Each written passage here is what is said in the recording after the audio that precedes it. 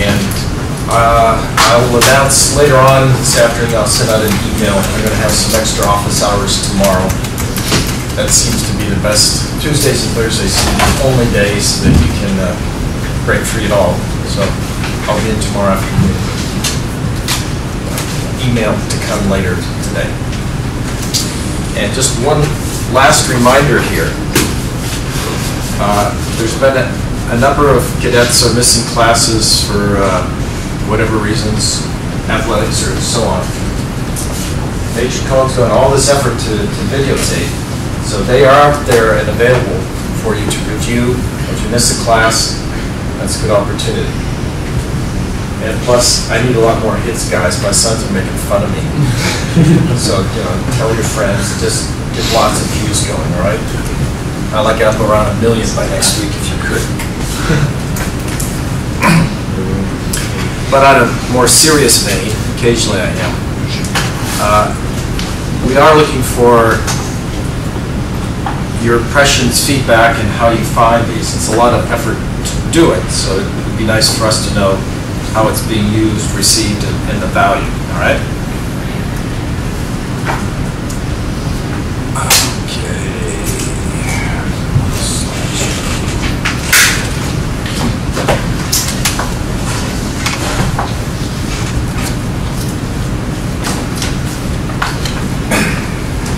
Today, we're going to continue with Bayes, which we've seen is just another way of looking at conditional probabilities.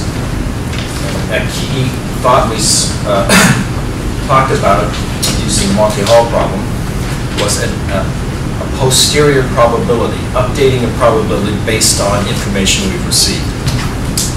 And then when we cut through all the formula, and came back to it, it's just really nothing more than a contingency table using a different way. So today, we're going to do some more examples.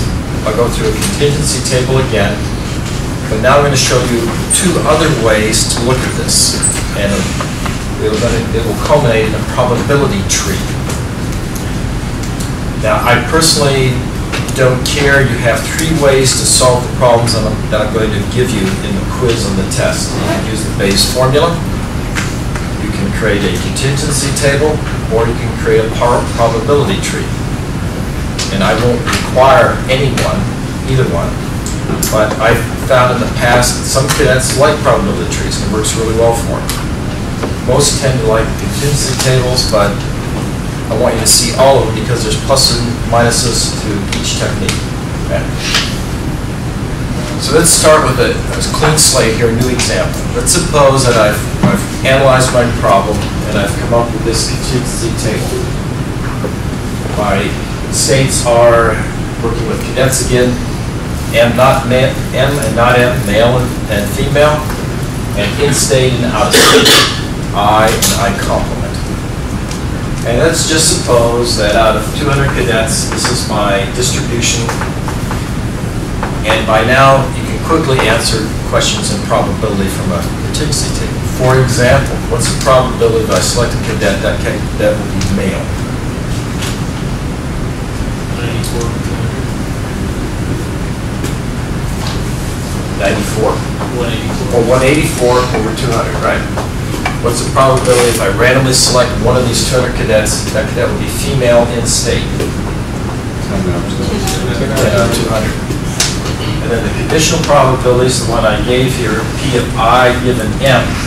Well, how would you say that in an English sentence then? Translate from the notation back to a sentence. That Dinah? Um, sorry. right here, that notation, translate that back into an English sentence in the context of this problem. Uh, knowing the amount of males, which ones are in C? Right here, P of I given M. So, given the amount of males, well, about, given the amount of males, that they're in C? Yeah. Given a male, what's the probability that cadet is also in state? Okay? So that is my contingency table, and I think you're getting pretty comfortable working those. Now I'm going to make a little change to this, and all I'm going to do is divide all the cells by 200 to get decimals that are really representing probabilities. Because another way to look at this table is a table of probabilities. Sometimes it's easier to think of things and hold numbers, and you can imagine, all right, there's uh, 10 female cadets, I can get that in my mind. Well, it's just as valid to divide by 200 and view all of these as decimals or probabilities. So there's the 92% that are males, the 8% that are females, the 42% that are out of state, and 58% that are in state. Trust me, I just took all the numbers in the previous table, divided each by 200. And obviously I get a 1 there. And I'll just have you note that you can still calculate conditional probabilities here. You're just working with a ratio of probabilities than a ratio of, you know, usually uh, integers. What's P of I given M? The same question that I asked on the previous slide. Well, I'm given M as 0.92, and I divide by 0.53, then I, and now I get 0.58, same numbers I got before. Right? The only difference is I've, I was I've normalized this set of table, which I constructed for convenience, that made it easy for me to understand. Now I've translated it back into a table of probabilities. Clear? Now a little bit of terminology. The probabilities in red on the outside we often call marginal probabilities. So I, and inside the numbers in the cells, I put the notation for what that probability represents. That's P of M, probability of a male, probability of female. Out of state, in state. So the red numbers are called mar, the marginal probabilities. Makes sense, they're out in the margins of my table, aren't they? The ones in the middle, the blue ones, are called the joint probabilities. And they're joint because it's the probability of two things happening. It's the probability that I select a male who's in state or a female who's out of state. Okay? Joint probabilities, joint marginal. And you notice what's missing there? What's one kind of probability that's not showing up in that table? By conditional, right? Wouldn't it be nice if I had a way to show all of these probabilities at once? I could see the marginals, I could see the conditionals, I could see the joints. And guess what? That's called a probability tree. A probability tree is just an arrangement of all these probabilities, and it, it's in a certain order, an order that makes calculation easier. And I ordered according to this equation we all know and love by now. P of A times P of B given A is P of A and B. Now that'll make sense in a minute when I show you the tree, but that's the rationale for arranging my nodes or leaves on the probability tree. I'm going to start here, going to go to there, and I'm going to end up there. This is just an alternate method to calculate probabilities. Got some pros, got some cons. The idea is we'll fill in nodes in this tree using information in the problem statement. Just like in a contingency table, we'd pick a nice number, say 10,000, 100,000, then we'd back into values for the other cells. And when we did that, we found it pretty easy and intuitive to calculate the probabilities. Well, you could take that same information from the word problem and pluck values directly right into the nodes of the tree. You wouldn't have to construct a probability uh, contingency table. And if you're comfortable with working with this probability tree, it might even save some work, more direct step. And the idea is I will have filled in many of the nodes of this tree, then using either this formula or some basic rules, I can fill in the rest of the nodes. All right, so let's see what a probability tree looks like. And this is a tree where I'm starting with the event A. I could just as well start with B, but I'm going to start with event A. What can happen? Well, I either get A or not A. Pretty obvious, right? Those are marginal probabilities, aren't they? They were out on the margin of my contingency table. given that I have not A, what are the two possibilities? I could get B, or I could get B complement. Right? That's controversial. And given that I have A, I can either have B complement or B.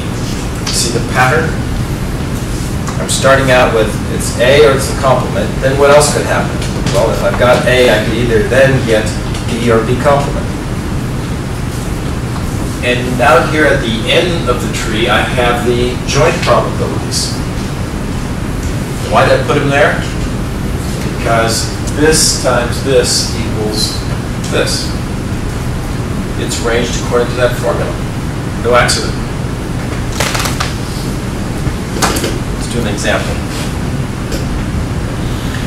If you went back to the contingency table we just looked at it and mapped every probability there onto this tree, this is what you'd have. You'd have your marginals, P of M and P of M bar, and you'd have all your joint probabilities over here. What's missing? I don't have my conditionals, do I? How do I get the conditionals? Uh, well, go ahead. The last one divided by the first one? Yeah.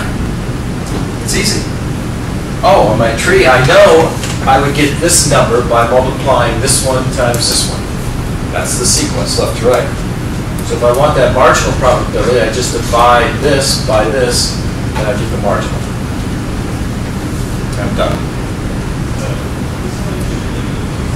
Making sense? Can't tell from the expressions. So I did that calculation, and those would be the marginals. 0.05 times divided by 0.08 is 0.63, or you could read it from left to right. 0.08 times 0.63 is 0.05. You can navigate this tree in, in different ways. And depending on what's missing, which branch in the tree is missing, you can use other information to fill in uh, those missing values. For example, some of the basic rules. I'm starting out with either it's M or M complement. Either it's male or not a male. Well, those two probabilities are going to add up to one, aren't they? Now, in this area of the tree, I'm given that it's M complement, I have the female. Those two probabilities have to add up to one. Because those are all the options. If I have a female, she's either in state or out of state. So these two probabilities have to add up to one. And it's likewise up here, if I've selected a male, he is either in state or out of state. So these two probabilities add up to one. So you could see if in your problem, as you're filling out the tree, suppose you had this number, 6.63, and you didn't have this one, no problem. You can find it. Basic rules, that has to be 0.37. And what about my joint probabilities over here? They have to add up to one also, don't they? Because they represent all the four possibilities when I combine these two events.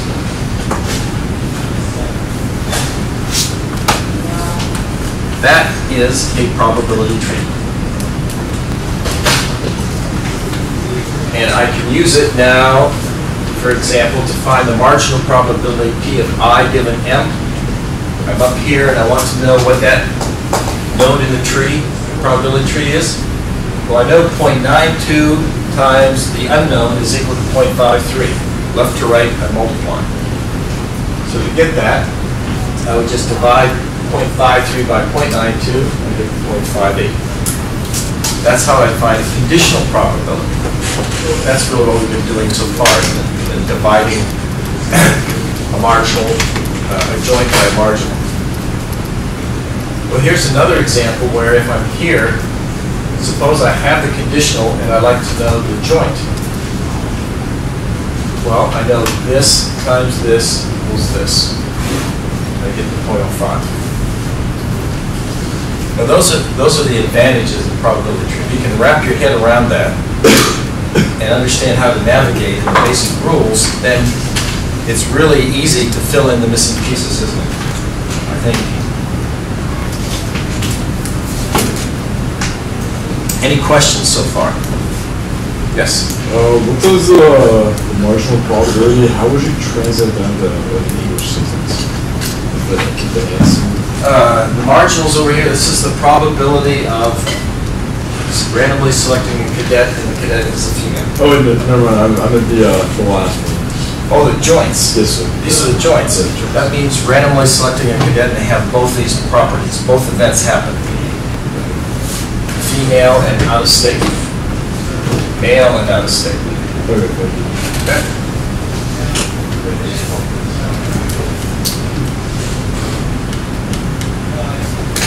All right, let's do one of these together, and then I'm going to hand out a worksheet. And this time, this time we're going to try to solve this problem right from the start using a probability tree. So read the problem. I've got two events. Event A is the person has hypertension. A complement would be you don't have hypertension, high blood pressure. B, the event you have heart disease. B complement, you don't have heart disease. The first thing I want you to do is read the problem. There are probabilities in there. Translate those and put them in the right notation. Okay, take a few minutes.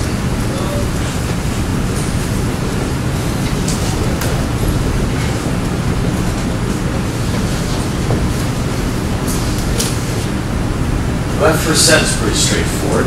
In the adult population, 15% have hypertension or high blood pressure. Hypertension is a synonym for high blood pressure.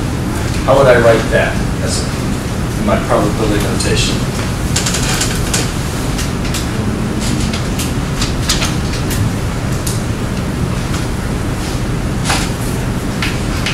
of 1 equals 1.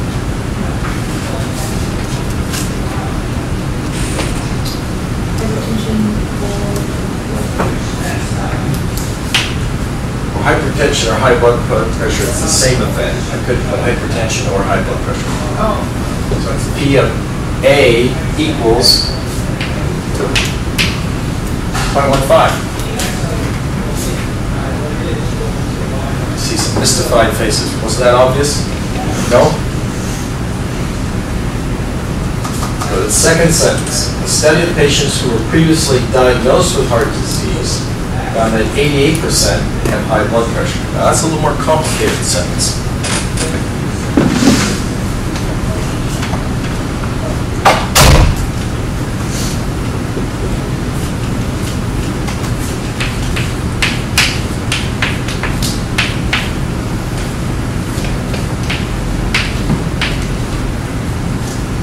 How would I translate that into my probabilities?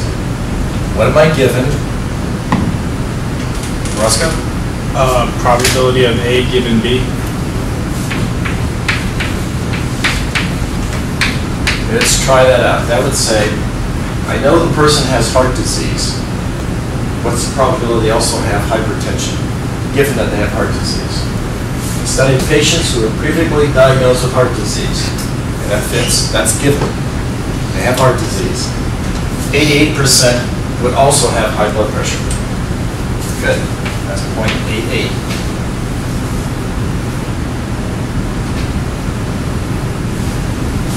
What's the third sentence? What piece of information does that, does that give us? Okay, Russell? Probability of B is twelve. Yeah, probability B is 12. So what's the probability of B complement?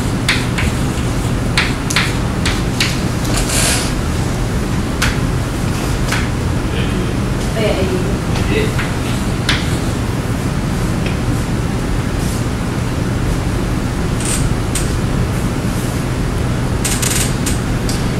what you, one thing you could do is go ahead and create a contingency table. We've done that before, and I did one for you, assuming at, know, 100,000 people, nice big number. And those are the values you get from the different cells. translated those into probabilities just by dividing, normalizing. And I've got my marginals on the outside, and I've got my joint probabilities in the middle. So let's calculate, let's draw a probability tree. And I'm going to start with A. So I'm going to go with A, then A bar. What's the probability of A? 0.15. Yeah. And AR complement was 0.85. What do I do next on the tree? Well, up in this branch, I'm assuming A has already happened. So this is probability of A, probability of A bar. This is the probability of B given A. This is the probability of B bar given A. Do I have those on my table right now? I don't have those, do I? All right, well, let's just fill in what we do know on the tree. The last node here in the tree, this will be the probability of A and B. Do I have that on my chart? Yes. What is it? Point one. Point one oh five six, right? That's the joint probability. Probability of A and B happening together, right there. Point one oh five six, and this would be the probability of A and not B. Do I have that on my chart? Sure do. What's that? Mhm.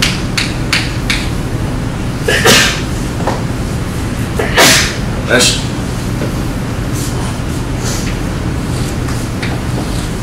Let's go ahead with my tree. Down here, now I'm given complement of A, A bar. What probability goes here? Kowski? Probability of A given B. No, I I have A bar. A bar given B. So, Probability B given A bar. Down here, the probability of B bar given A bar. I've been given A. Do I know these probabilities from my contingency table?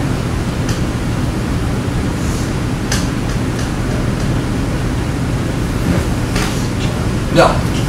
You don't know the conditional probabilities from the table, but what do you, what do you know? You know the joints. So this is the probability of B bar and A bar. What's that probability? Yeah, A bar, B bar mean I don't have hypertension and I don't have heart disease. Eight, three, five, six. I realize you probably can't read that, that's below the it? And this one would be the probability of A bar and B. A bar and B is point zero one four four.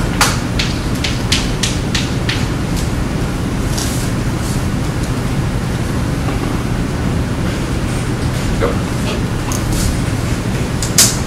So how would I use this to fill in this probability? My tree. Yeah, it would be .044 divided by .15. So this probability is equal to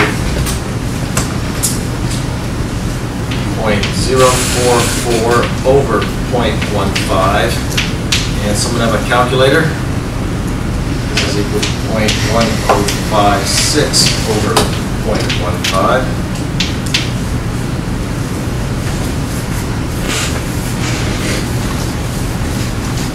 Dylan, do you have that? Uh, point seven thirty. What, this one up here? Point seven thirty-four, Zero. point seven zero four, okay? And this marginal probability? Uh, point two nine three. Three, something like that.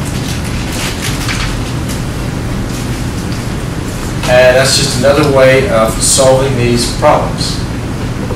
Now, in this particular problem, the word, the wording of it gave us joints and uh, the marginals, but we could just as well have problems that give us, uh, give that, we don't have that.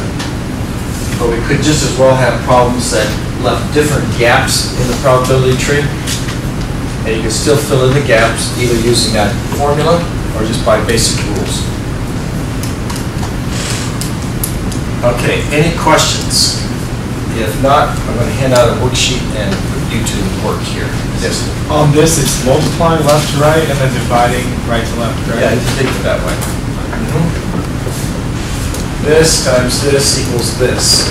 Now to get this, the conditional, I divide the joint by the marginal. There. How you like the tree method better? Anybody? There's always some that do. Whatever works for you. Okay.